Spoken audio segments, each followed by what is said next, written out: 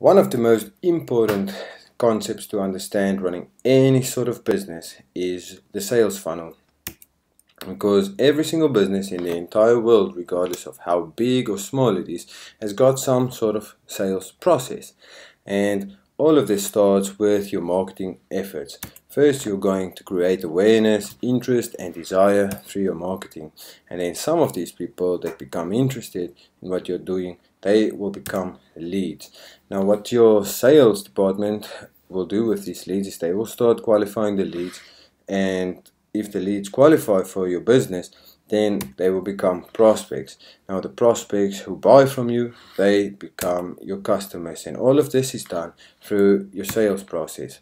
Now at every single stage of your funnel you will lose some traffic or some people and this is very very important to understand at which parts of and stages of your funnel you are losing the most of your traffic and why you are losing these this traffic so there are many many ways to be able to optimize your funnels there's a complete science behind it but the ultimate goal in running or using any sort of funnel is to have the highest possible conversion rate and you know most online marketers today are a bit lost when it comes to sales funnel management.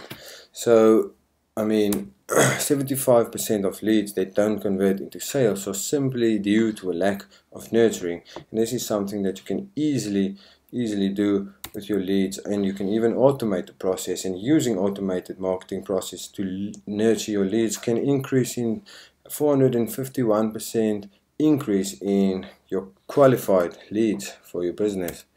I mean, so a good funnel is always going to act like a never-ending cycle to grow your business because a happy customer that leaves the bottom of your funnel will start acting as promoters for your business. I mean, first the the happy customers will start referring your business to their friends through word of mouth. They'll start sharing your business on social media, and then more strangers get attracted and um, and being made aware of your business. They take up a call to action. They visit your page, and they when they start uh, spiking up an interest in them, they in turn become leads, and so the cycle continues.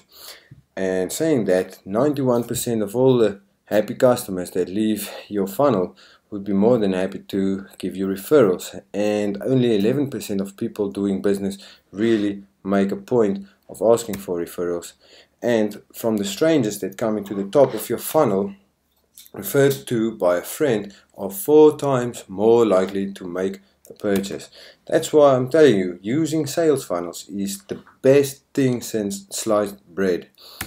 So if you're thinking about a marketing strategy to use funnels and grabbing the attention of people and contact me. I would love to consult you on how we can make it appealing to people very creative and built up in ways trusted trusted ways so that we can have the highest possible conversions from your leads into sales. So hope to hear from you soon. Thanks